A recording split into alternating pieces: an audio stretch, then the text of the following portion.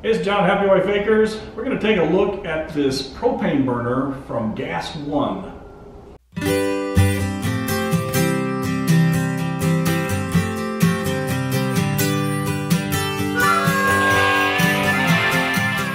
This is a model B5450 from GasOne, an American company.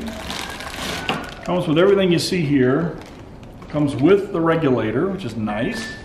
About to enter maple syrup season. There's a 40 to 1 ratio between the sap and the syrup. And that means it takes 10 gallons of sap to make this one quart of maple syrup. So to get there, you have to evaporate off the water. You're going to do that one of a couple of ways.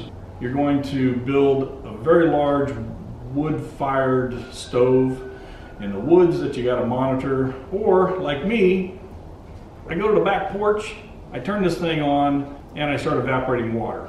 This is what I have been using. In comparison, you can see this gas burner. This thing is huge. It's rated at 200,000 BTUs. I don't know what this is, but it's probably very, very small. A couple of things I really like about it. One, the metal is thick, very sturdy. It's not gonna collapse on you like a lot of cheap burners.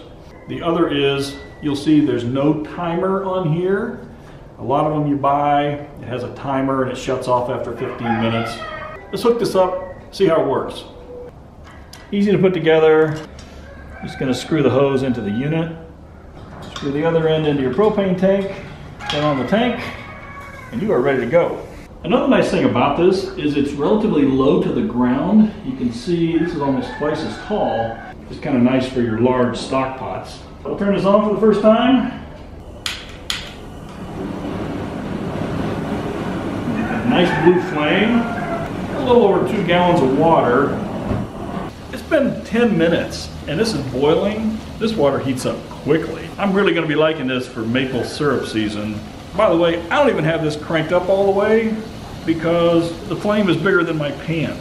This has nothing to do with the product, but I want to show you, you maple syrup boilers.